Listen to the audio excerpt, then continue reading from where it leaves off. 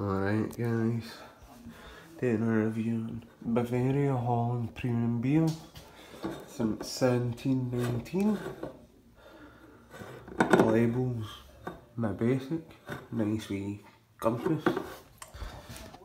And here it is, about one finger head, one finger white head. Lots of carbonation. Uh, look at all those bubbles, a lot of carbonation aroma.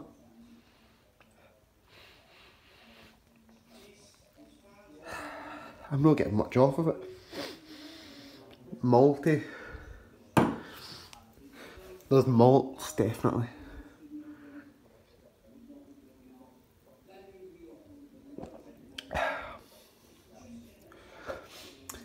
Hmm, it's refreshing. Very refreshing be good on a summer's day. It's brewed by the Molson Coors Brewing Company in the UK and it's 4.3 ABV. Aye, this is a summer drink.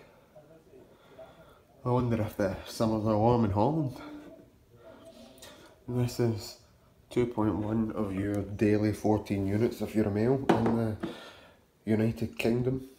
Scotland, Wales uh, Ireland, or what, I forget the part of Ireland. Right there, nice wee beer.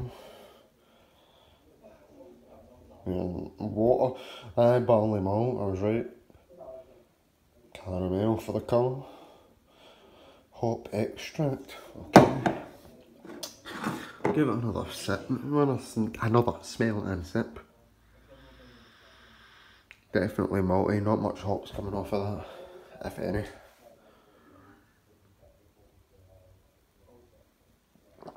Hmm. Not the best beer, but tasty. Nice, very refreshing. It's a 7 out of 10. I get this again in the summer. When it's warm, 30 degrees, you just need to sit in the back, crack open a refreshing lager beer and you choose Bavaria Premium Holland Beer. Very, very, very thirst quenching. Alright, 7 out of 10.